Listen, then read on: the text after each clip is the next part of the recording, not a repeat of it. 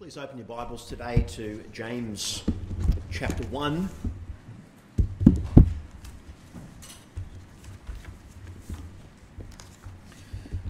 We'll be continuing uh, this morning in our study of James, looking at verse 17 and verse 18. We have been looking at responding to the temptations and to the troubles of life. When uh, something unmistakably good happens to us or in the world, we say, Praise God. God is good.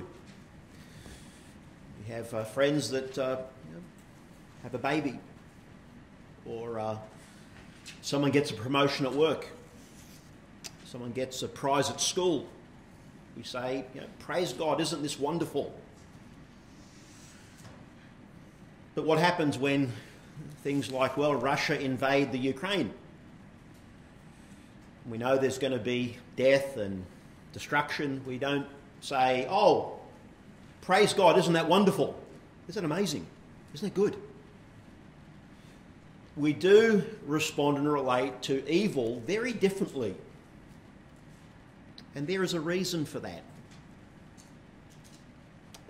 Even though we acknowledge God's hand in all things, good and bad, the truth is we do respond to evil and wickedness differently because that does reflect God's heart. God doesn't rejoice in sin and in evil. God is not happy or pleased when people rebel against him and do the wrong thing.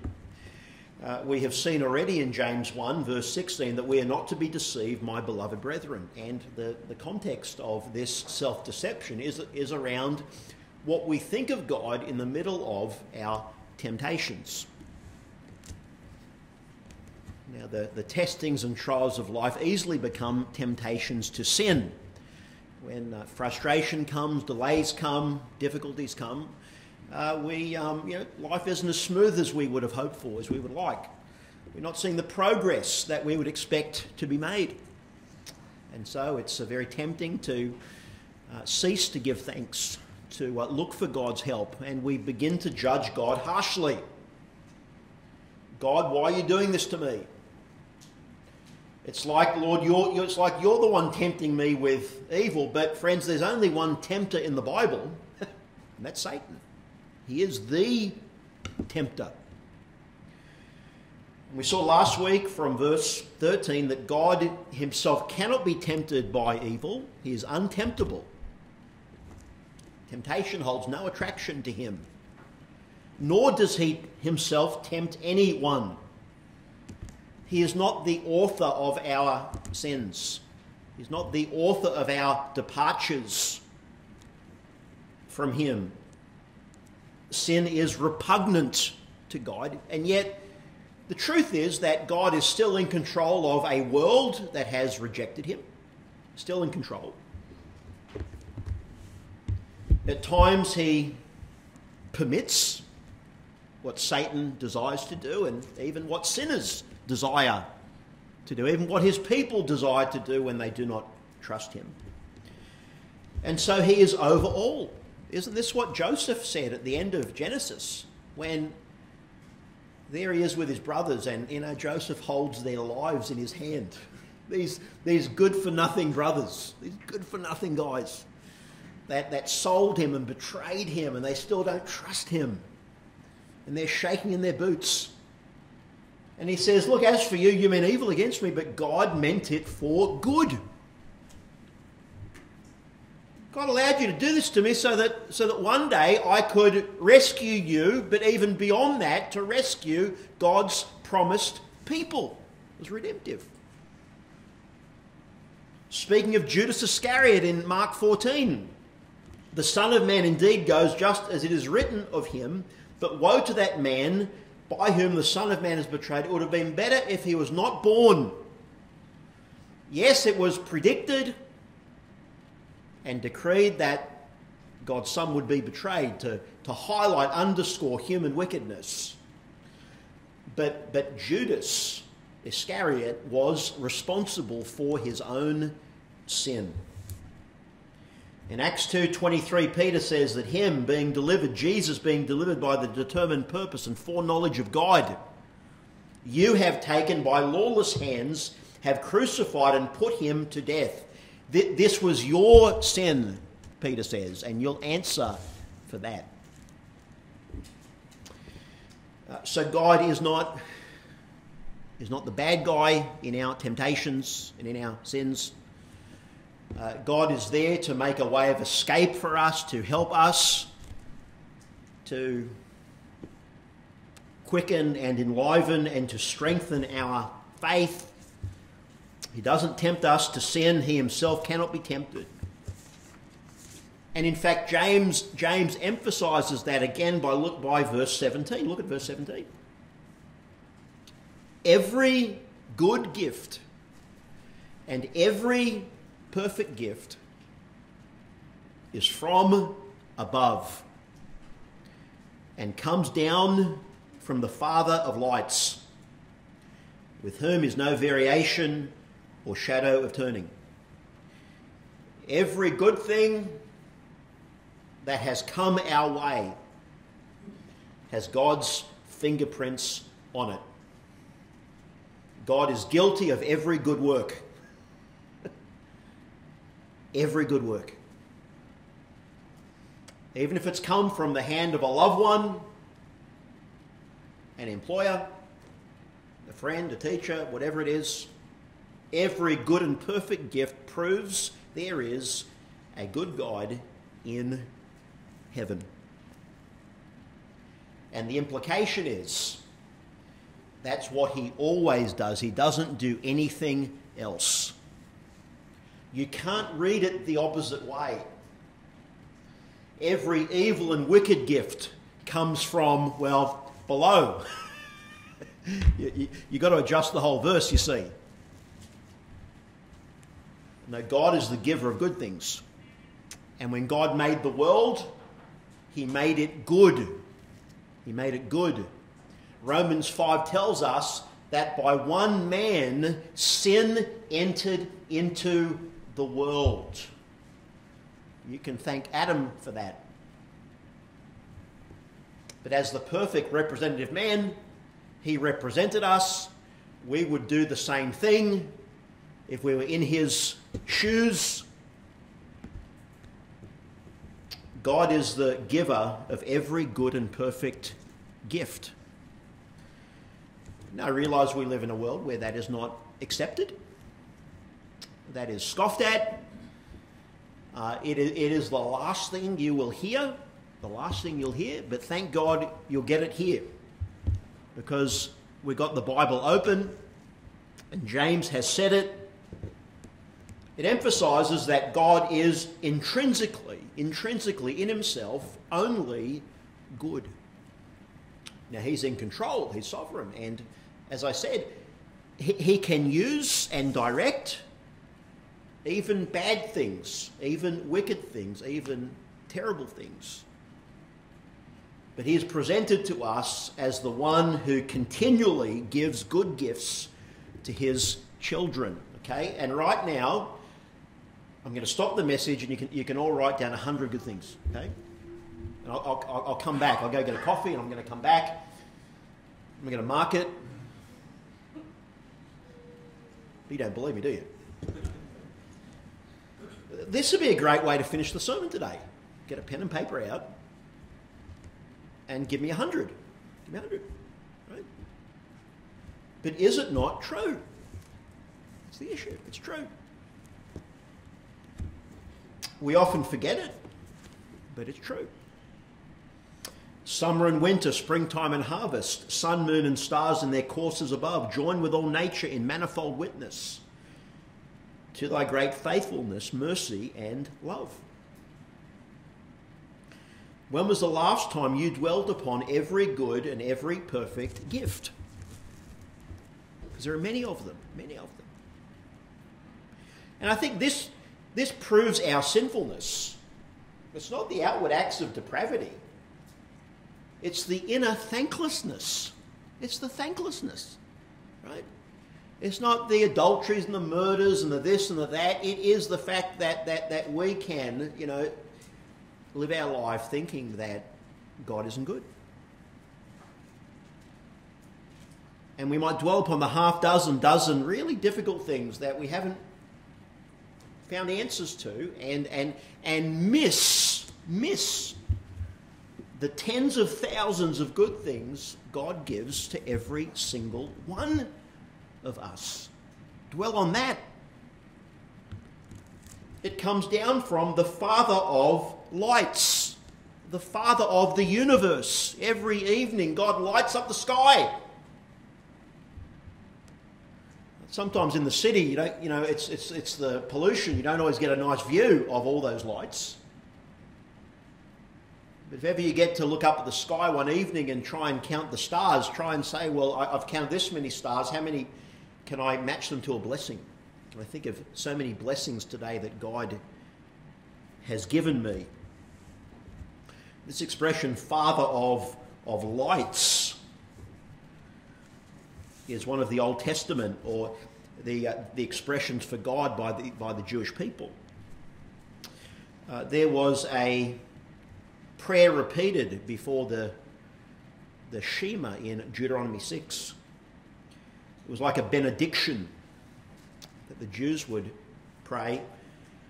And it was this Blessed be thou, O God, O Lord, King of the world, who formed the light and created the darkness, who makes peace and created everything, who in mercy gives light to the earth and to those who dwell upon it. Blessed be the Lord our God for the glory of his handiwork and for the light giving lights which he has made for his praise.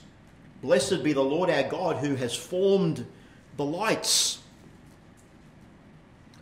Those, those lesser lights that rule by night, so to speak, are meant to remind us of God's goodness. But what we do is, what we do is we take our grievances and we make them like the sun and the moon. we make them like the sun and the moon and, and we magnify them. And we forget how good the Lord is. A child can, can complain that, that there is, you know, they've got to go to bed by 9.30 or 10 p.m. And yet forget all of the many blessings that they have been favoured with every day. We do it. We do it, friends. The Lord wants us literally to look up these numberless stars, which scientists cannot, cannot agree on an exact number. And you know why they don't know? Because they're not God. They didn't make the stars. They weren't there when He did. They can only guess. Psalms tells us that He knows them and calls them by name. The goodness of the Lord. If you go back to verse 17, with whom is no variation or shadow of turning. There's this idea of he doesn't move like the shadows move.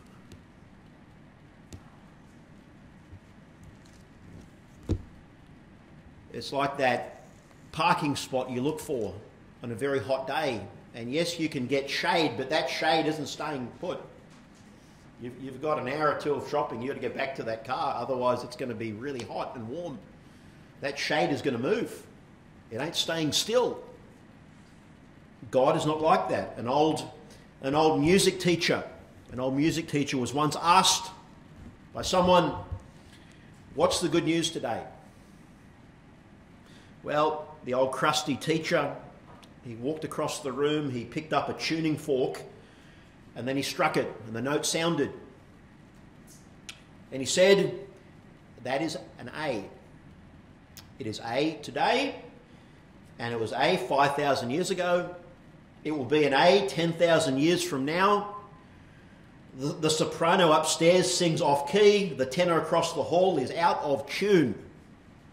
He struck it again. That is an A, my friend, and that is the good news today. It's going to stay that way. Well, how much more God? He's faithful, dependable. He is light. In him is no darkness at all. Malachi 3 6, I the Lord do not change.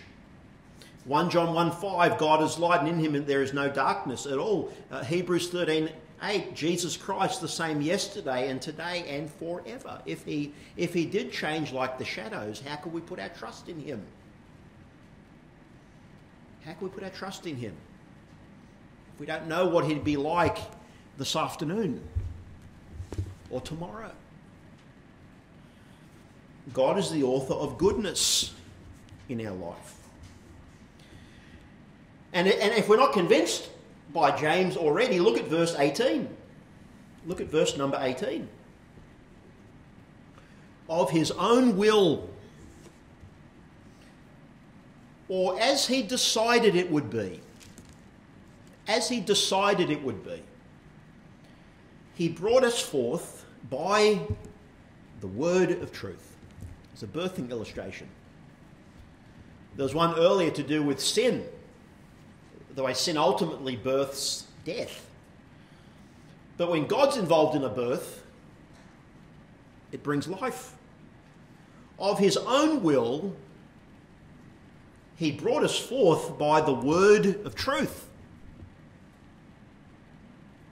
That we might be a kind of, a kind of first fruits. And here we have an, agricultural example of his creatures. James says, you, are questioning God's goodness, questioning whether he's, give, he's the one giving you a hard time in temptation. Well, he gave you salvation. How good he is. He gave you salvation, he gave you forgiveness of sins. And he rescued you, and he delivered you. And you're pointing the finger at him? How did he become so bad to you? How did he become so untrustworthy?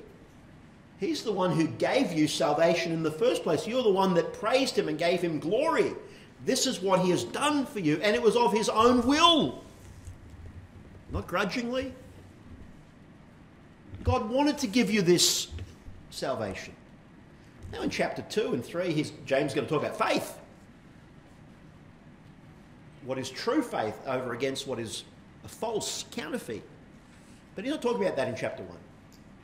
He is talking about in chapter 1 the fact that God gave his children the perfect, ultimate gift because he wanted to. And he decided to. And God pulled it off. He achieved it. He did it. Not in a half sense, God doesn't do 80% of salvation and he, he, he makes us churn out and, and, and get the rest done so we're over the line. Uh, we're going to be saved or not at all. A person is going to know God through his son Jesus Christ or not at all. Not at all. He's going to be in the light or he's going to be in the darkness. But when someone comes to Christ by faith, God saves them. And that's why I bring glory to God. Because He does that for us. Only He can do it. But the means here in verse 18 is by the word of truth. By the word of truth. And that's where our Bibles come in. How does God show us our need of Christ and how does God pull it off? Through his powerful word. That's how. Faith comes by hearing, Paul says in Romans 10, and hearing by God's word. That's how God does it. It's through God's word we see the truths about ourselves and the truths about God. Maybe there are some here today that haven't, haven't yet, you haven't yet put your faith and trust in Jesus. Friends, you must do so. You must do so. Otherwise, you'll perish. And when people are saved by hearing the word of truth and receiving it, they become something. They become something. Look what James says at the end of verse 18. That we might be, that we might be a kind of first fruits. Now, James isn't uncertain. He's not saying, well, we're kind of like this. Maybe we're like this. No, no, he's very certain.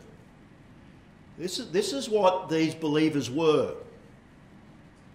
They were the beginning, the first fruits, they were the beginning of a great harvest. A kind of first fruits. The Jews would bring the first, usually the best of their crops to God as an offering. And of course, the temptation is, well, maybe I'll give God the second fruits. give him the second fruits. I want to try the first fruits first. I want to make sure they're good. I'll bring God the second or third fruits. No, no, no, friends. No, no. You bring God the first fruits. Give God the first bite, so to speak. Give him the first fruits. Because the first fruits predicted more to come. More to come. The first fruits predicted pointed to a greater harvest. And these first century Christians certainly were the, the, the first round of gospel salvations. They were the beginning of a great harvest, and that harvest, friends, has been coming for two millennia. It is a long harvest. It's a long harvest. How do I know the harvest hasn't ended? Because Jesus hasn't yet returned. That's why. There's a harvest still going on. Stephanas in, in, in 1 Corinthians 16 was the first fruits of Achaia. Maybe you're the first fruits in your family.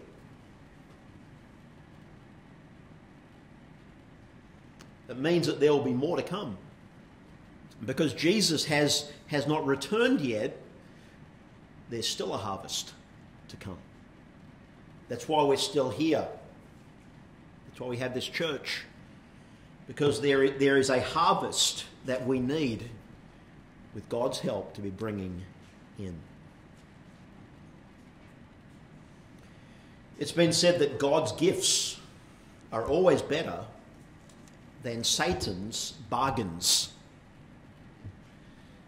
Oh man, the things Satan offers always heavily discounted. They're giveaways. But you end up paying for them later. You pay for them later. Proverbs 10:22, it is the blessing of the Lord that makes rich, and he adds no sorrow to it. I want you to turn as we conclude today to 2 Samuel 12. 2 Samuel 12. And I want you to see uh, a conversation that takes place between the prophet Samuel, sorry, the prophet Nathan and David when uh, Nathan confronts David after his sin. And Nathan's certainly a brave man. But I want you to see what Nathan highlights to the king. Because for David, it's going to be truth time. It's truth time for David. Uh, God lovingly exposes David, lovingly points him to his repentance, and Look at verse 7 of 2 Samuel 12.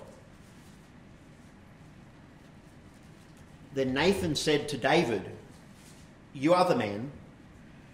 Thus says the Lord God of Israel I anointed you king over Israel. That's a great privilege, right? I mean, when he's the king, everything else follows. Everything else follows. He's the king. He's the most important guy in the country. The palace, the servants, the this, the that. I mean, everything comes with being king. He said, I gave you king. I made you the king. Then I delivered you from the hand of Saul. I get rid of your enemies for you. I clear out the enemies. Verse 8 I gave you your master's house and your master's wives into your keeping. I gave you all that Saul had. Even when David had more than one wife, God's blessing him. Look at verse 8 again. And gave you the house of Israel and Judah. And if that had been too little, I would also have given you much more. God says, David, I would have, if you had asked, I would have said yes. But my goodness and blessings were not enough. Don't think, don't think that, that David's fall was just about lust. It wasn't just about lust. It was a man living, living without really thinking about God's goodness to him, despite the abundance of what God had given him. Same, so, same is true with us. Same is true. It's not just what I did, what I said. It's what I wanted. It's what I wanted. It's what was driving me. I, want, I wanted to be in charge of my life, not God. I wasn't happy with the things He gave me. I wanted more, thanks very much. And then we come into that dangerous and uncharted waters of sin. God only gives good gifts to His children. Yes, He uses the evil ones but his goodness to us is everlasting.